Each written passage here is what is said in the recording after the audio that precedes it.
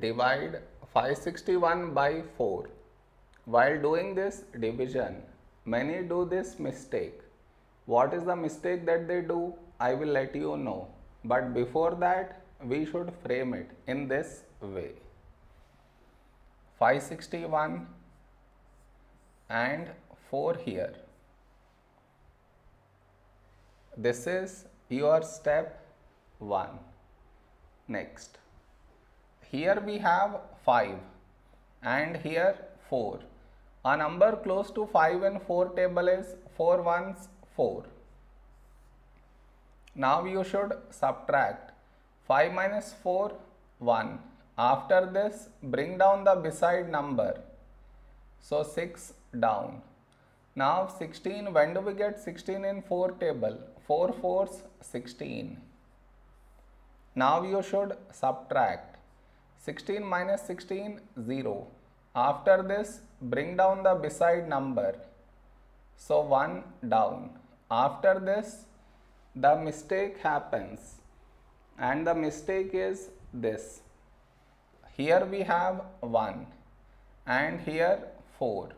1 is smaller than 4. So what many do is they directly put a dot and take 0 which is wrong. Why is it wrong? Because just now you brought this number down and in the same step you want to put a dot and take 0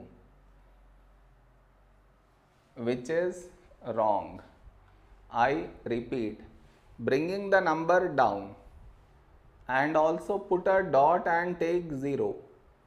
Bring the number down and put a dot and take 0.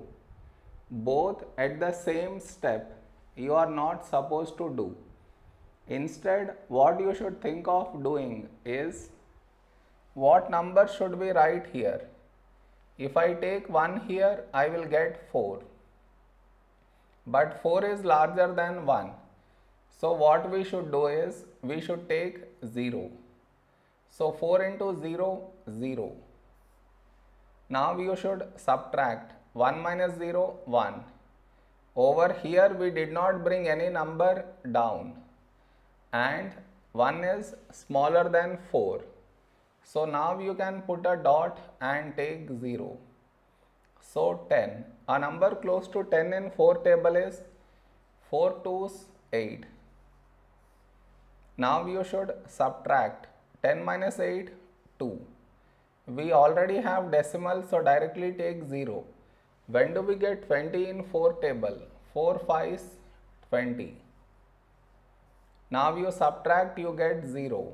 So this is our remainder and this is our quotient. Did you understand where the mistake happens? You should not do that mistake.